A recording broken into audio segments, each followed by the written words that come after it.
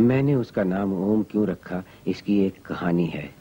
माना जाता है कि यदि मिथुनांश के शनि को उसका लग्नेश देखे तो जातक केवल सत्रह की आयु में मृत्यु को प्राप्त होता है। फिर मैंने विचारा कि ओम नाम का टाइप अब तक यमदूतों की सूची में शामिल नहीं है। यदि मैं उसे ओम पुकारूं तो वो हमेशा मृत्यु की दृष्टि से लापता रहेगा।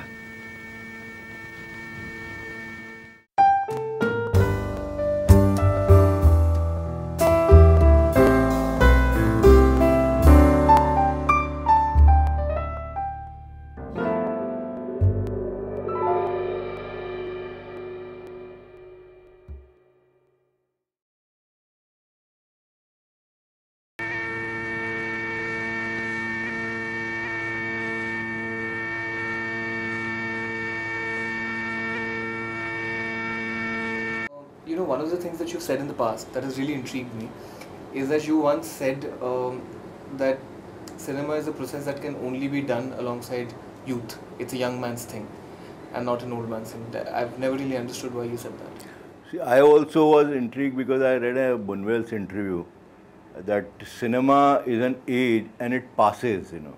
He says that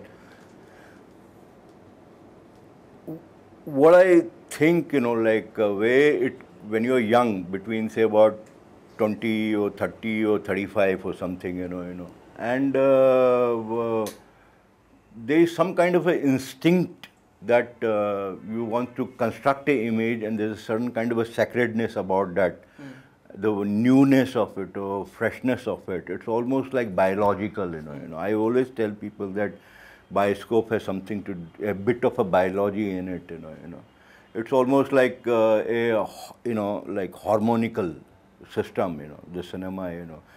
And uh, otherwise also they say you know like okay in your heart there's a pituitary gland or something a gland here where in Mahavir Swami or Buddha or Jesus Christ they show. And slowly slowly it diminishes or just you know like vanishes that kind of a thing.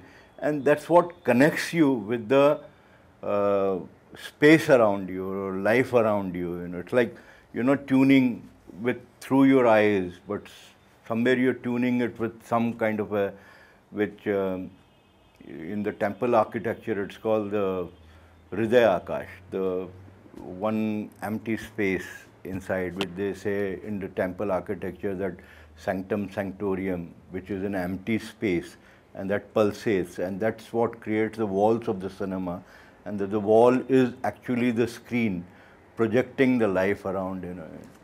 And slowly, slowly it diminishes, which I experienced, you know, you know, that now if I do films, it'll be very concocted and it'll be uh, manipulative as a, and it'll be like making a living or making a money, you know, you know. But it's not same what when it was between 20 and 35, you know. You know. I can sense it, you know.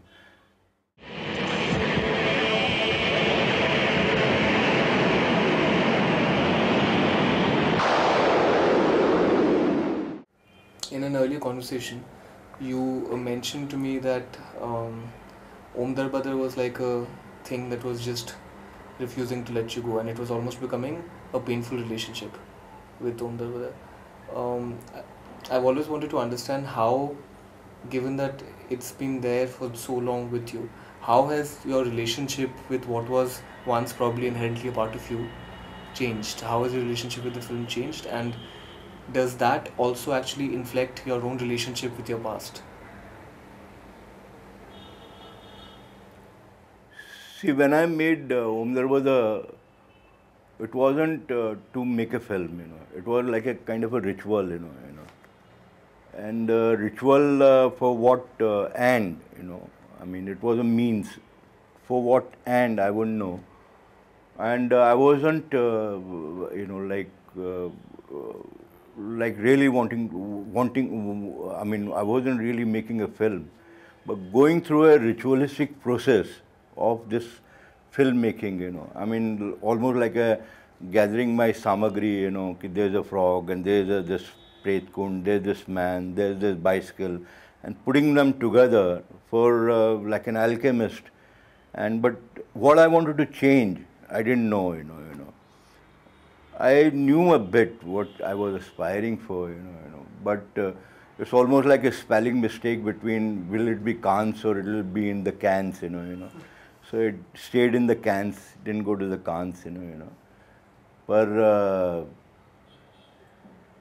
uh, there were a lot of accidents in that film, and uh, uh, it uh, it backfired on me because you know like you know something like that. But today I am very surprised. I I look back, but I don't look back because I'm too uh, distant from that past. You know I. Uh, and I don't believe in memories anymore, you know, you know. And so, but I see people like it, and uh, uh, because, like I said, you know, the cinema is an age and it passes. So that age between the 20 and 30. You don't still watch it? You watch No, I don't watch it. But that age between 20 and 30, they feel uh, they get excited about it, you know, you know. So, see, what happened that you know, like it is, it was about adolescence, and I was reading a lot of things. And when you become 20 or 22 or 25, you just crossed that age, you know, you know. So somewhere uh, you connect with that age, you know. I mean, uh, you just crossed the threshold of the adolescence, you know, you know. So it reinforces uh, what you have uh, crossed over, you know, you know. Like this film won't work with a guy who's about 40 or 50 or something, you know, you know, because he is far away from that, you know, that image. So I'm very surprised, and I feel people are very kind to me. They like it, you know, because that time when it came into the market, uh, people didn't think it was a film or it was anything, you know.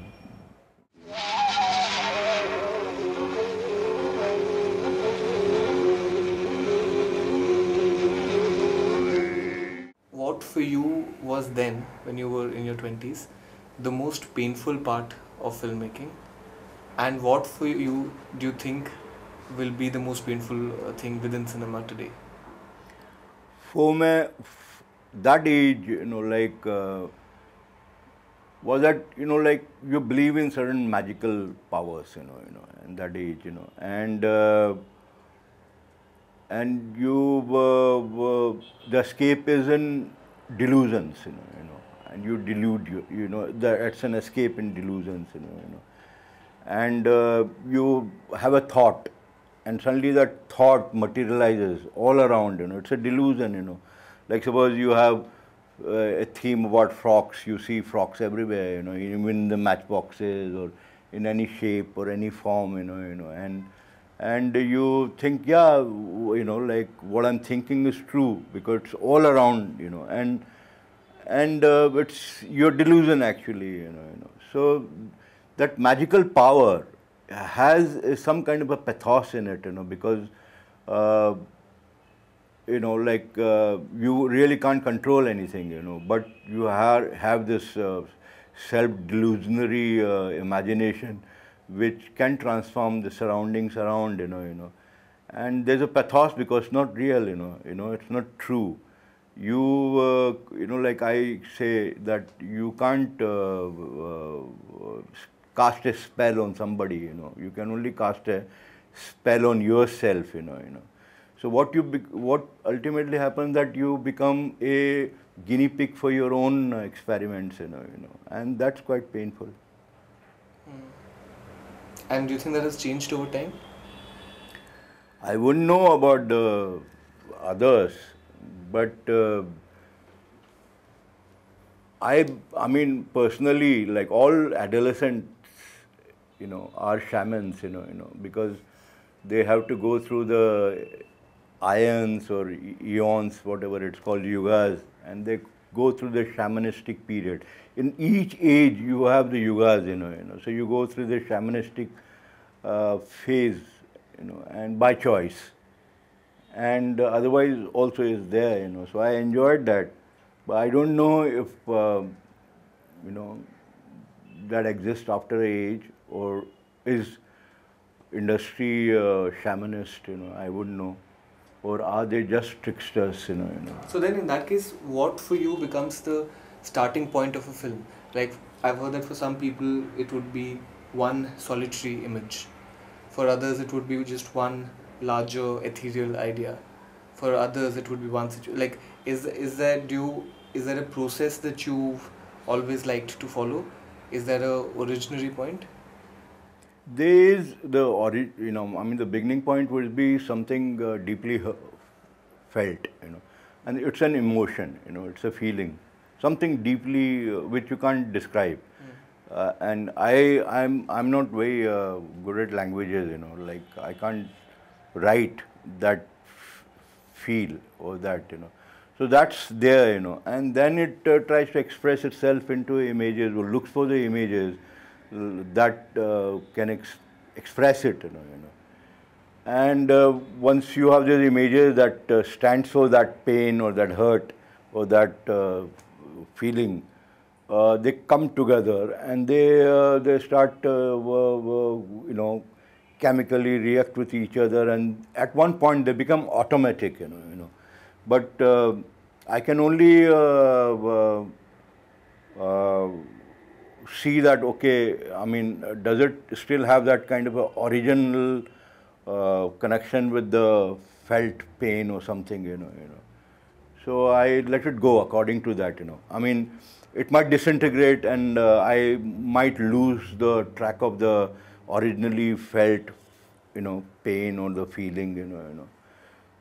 But at the moment, you know, like my body is not that strong that I can really uh, digest that kind of a pain. You know, so I give it away. You know, I mean, I give it up to face it. You know, you know, or uh, exercise that ghost. You know, so I become slightly filmy and parody and caricature and yeah, wo, you know. But if you are strong, maybe then you can, you know, digest and express it. You know, you know, what is deeply felt. उन्होंने मेंढक बनने से इनकार कर दिया था उन्होंने nitrogen के खिलाफ हथियार उठा लिए थे और उधर हाउस ऑफ राणा टिगरीना में My next question is that um, what is your response to the contemporary movement of digital explosion? Like, is yours an optimistic response?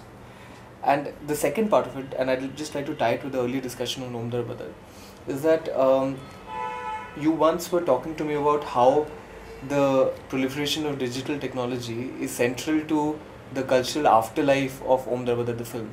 You, you, what you said to me was that Om Darbadar literally had a, a rebirth of sorts because of this, because of digital circuits. I'll uh, answer to the second question first because the first one is quite complicated. You know, you know.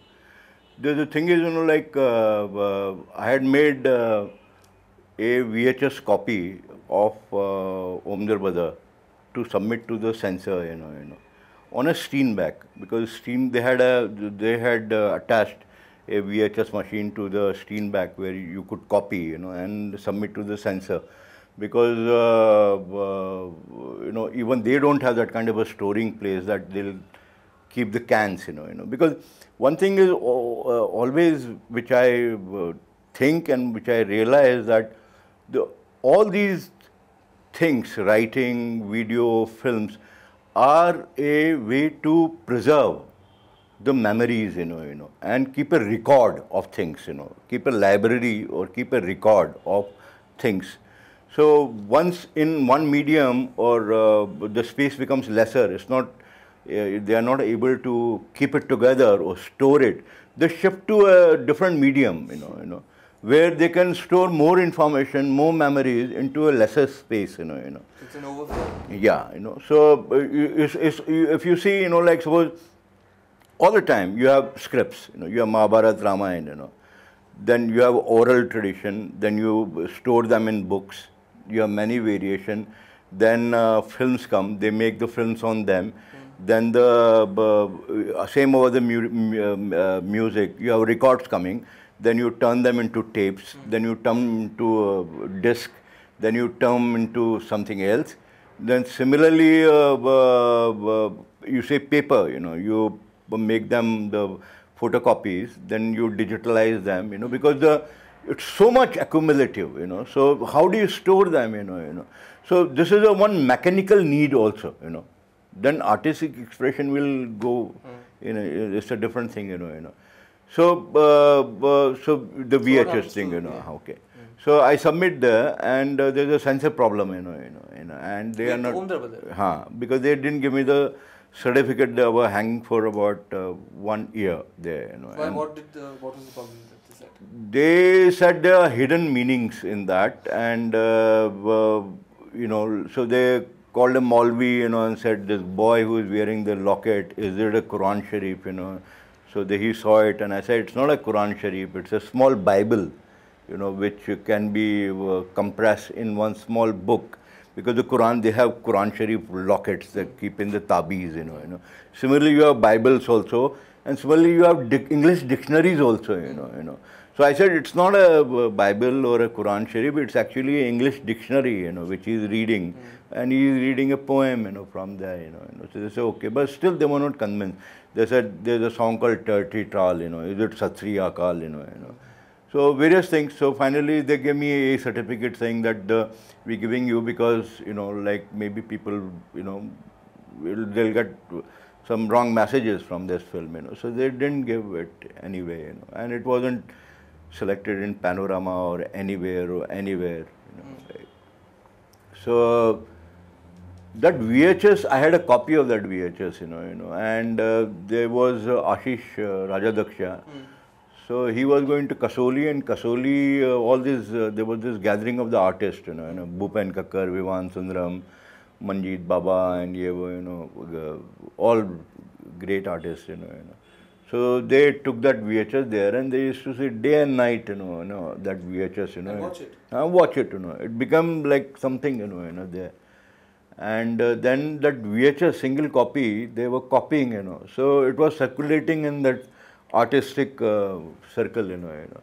Then their kids saw these VHS, so they started, you know, circulating. And by the time, you know, I mean, uh, uh, copies and copies, and there were nothing left in that copy, you know, only the soundtrack, not even a picture, you know. Yeah. Uh, but just to have that copy, So people saying that there were uh, that there were copies of Om Darbadar go, doing the rounds which in VHS. copies. Ah, just they were just um, a picture had uh, disappeared, you know, you know. But it became a ritual object, you know, by itself. That you know, and at the same time, the reputation was like that. That we we are the only people who know this, you know, you know. Yeah. You know, it was a uh, it- you know. for the longest time it was a cult film, right? I Yeah. think so. Uh, when is it that it becomes from just more than a FTR, is very selected uh, artist circle cult, into a slightly larger phenomenon, which it is currently? See, then what happened that uh, it was a, there was a girl called uh, Shai Heredia. So she was running this experimenta festival, you know. So they said, how do you slot this film, you know, because the commercial guys didn't think it was commercial enough, and artistic thing uh, people think thought that it was not art enough, you know, you know. So they was they tried to slot it into uh, uh, experimental film, you know, you know, kind enough. And they saw, and uh, there were people, you know, because they had heard about this film and it had a very kind of a different kind of a reputation. And some people get attracted to a certain kind of a reputation or a fame, you know, you know. It's a very d- exclusive positioning of yourself, you know, you know, you know. So uh, almost like it's like I, you know, I fought for Uski Roti, but I haven't seen it, you know, you know, you know. And uh, so there she made a DVD copy of it, you know, Shai Heredia. And then the DVD copy started moving, you know, you know, in the market, you know. I mean, have you seen, uh, you know, so it become, somebody made a film also that uh, the DVD copy of Undarba is like a, you know, like a, you know, like a, what is called password, you know, you know.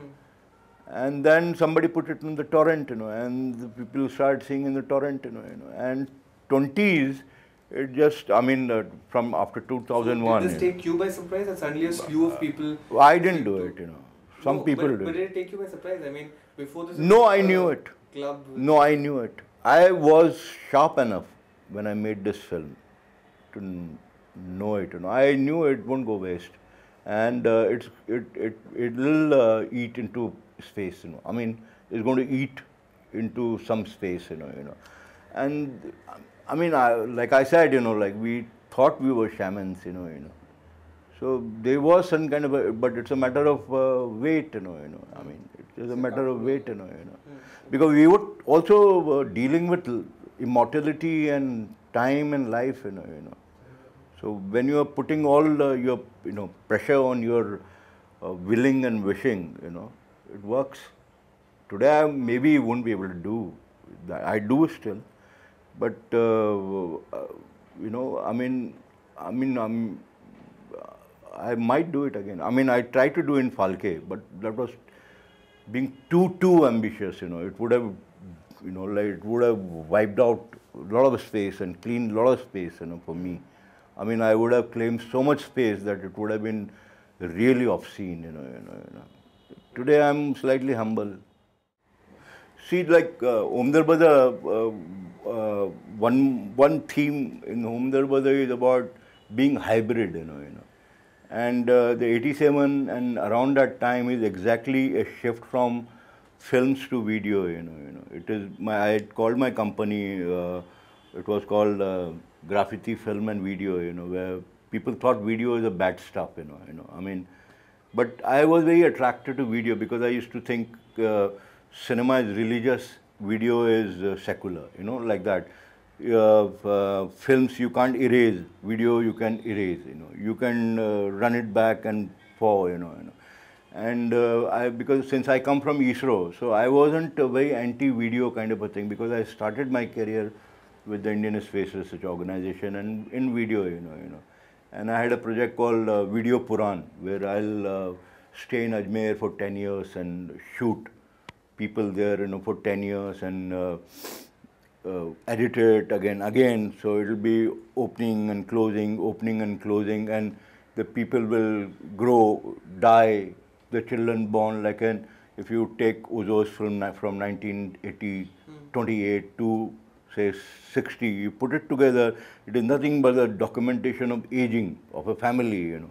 He is taking the same actors, that kind of a, which is was only possible in video, you know, you know, not in a film, you know. So that kind of aspirations were already there, you know, like we could sense it, like an entrepreneur, you know, that the video is coming and uh, your philosophy is different of looking at things, you know, you know, you're not, you're not uh, you know, a small segment of time is not sacred, you know, you know, I mean, you can spread time, you can stretch time, you can compress time, you know, you could play with time now, you know, you know, so that kind of a thing was there, and that's where we, we could, uh, you know, like create more life, you know, in within us.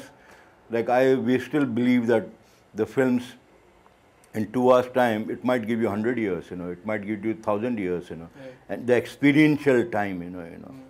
So those thoughts were there, you know. So it, the thought really worked because, you know, like uh, the cameras broke down and suddenly, you know, in, in the, we shooting in a film, but the effects were like video, you know, you know. Hmm. You know, when the shutter broke down and when we saw the footage, they were like video effects, you know, you know, you know. So it was a transition time which revealed to me, you know, it got captured in the camera, you know. And but there was a, you know, like a kind of a battle between the uh, analog or the machine and the nature because nature doesn't give a damn, you know, you know. I mean, it's beyond video or beyond digital and beyond analog and beyond machine and beyond matter, you know, you know. It's a, it's a spirit, you know. So spirit uh, is beyond uh, matter, you know, you know. I mean, of course, it's, you know, I mean, it's a, it, you know, whatever it is. Spirit is an alchemic process, and it is uh, distilled by the metals, you know. You know, you know. But uh, I saw that battle happening in front of my eyes, you know, you know. I mean, that was the ritual, you know, to see that, not the final film, but Omdar was raised on the screen, you know. You know. Bubble Babylon say, bubbly telephone say.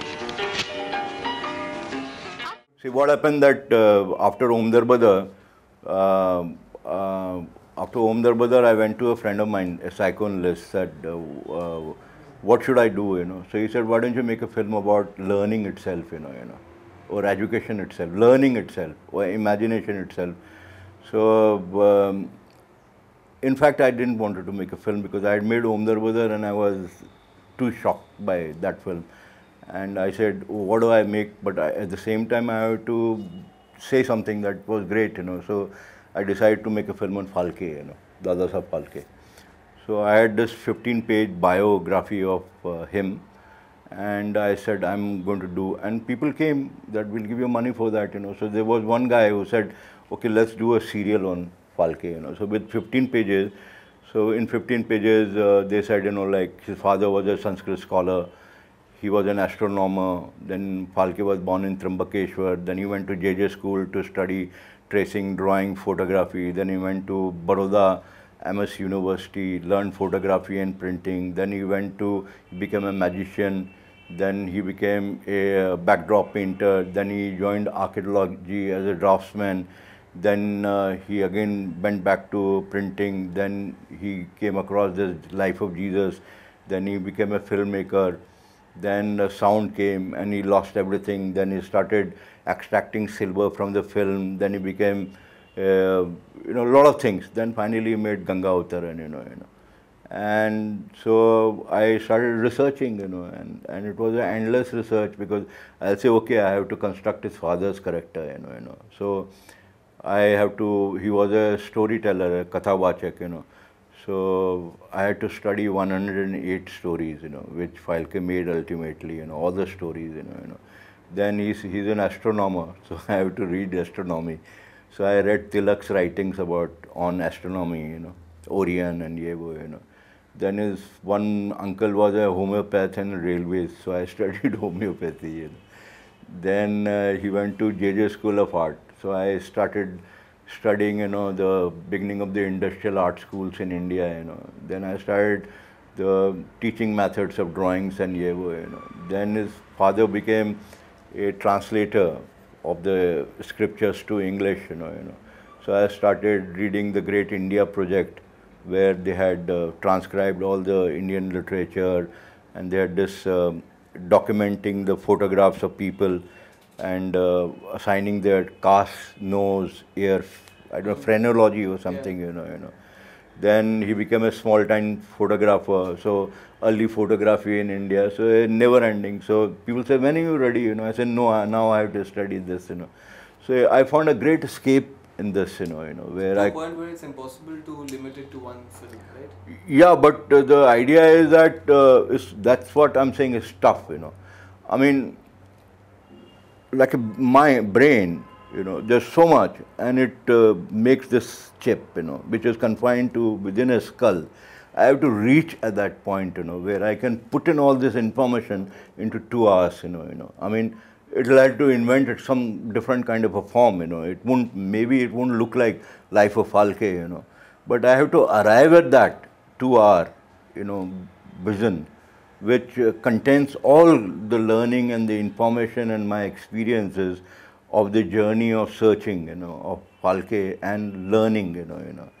And if the, you know, if the brain can be put into a skull, you know, why can't this be done, you know, means if the consciousness can be stored in a brain, why can't be this consciousness stored in a two-hour film, you know, you know.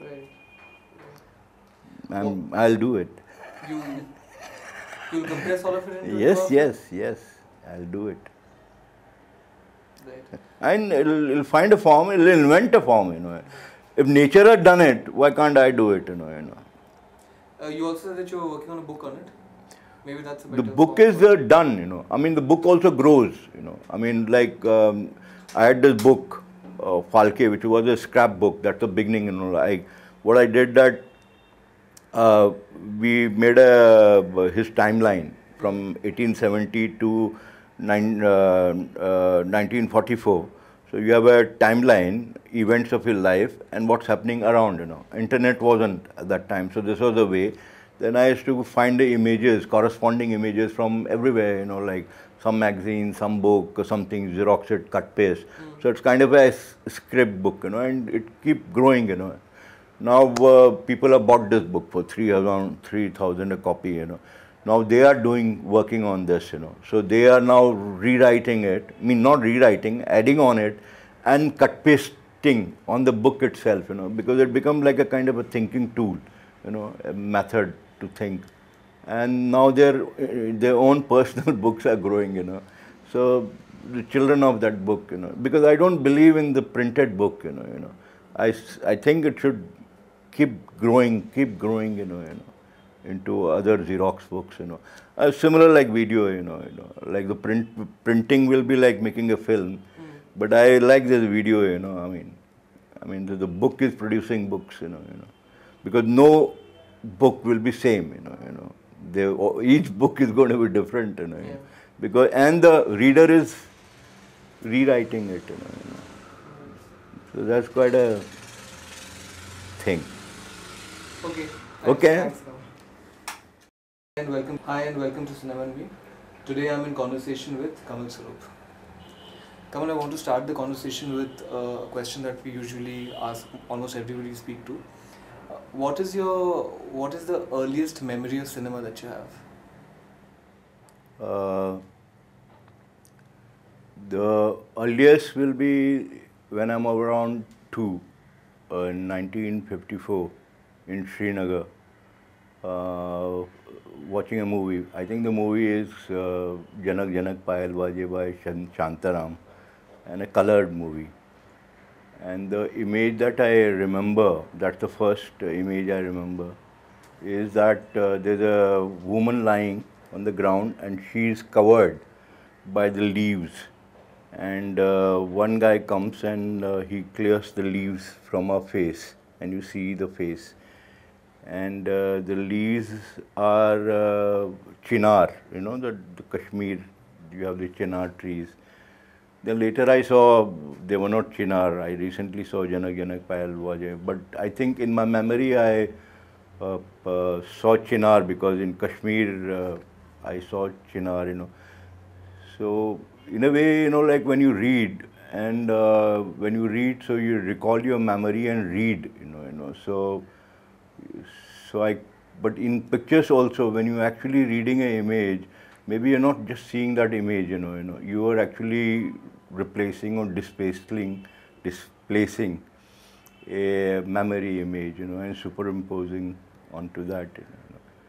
But more than an image of a film, what I remember is in Srinagar again, there's an image about, I don't know what magazine it is, it's again a color magazine, which has a painting or a photograph, but it's a, a person piercing his eyes with two uh, knitting uh, needles. And uh, his eyes are dark. I mean, there are no eyes, but it's a two needles entering into the dark holes. And you see the wools which uh, that person that person is not seen, but the face and the knitting needles. That's what I remember. Right. I think um, all of us have a certain mode of engagement through images. For example, I would read a lot of Tintin when I was young, you know, and it's almost like I made sense of the world around me through the color palette, through the plots, through the characters of Tintin. And it's almost like central to how I fundamentally understood images, I think, and this is my looking back at that point of time, is through this lens of what I would then read profusely. Did you have something which you think colored your colored the way you um, understood images as a whole?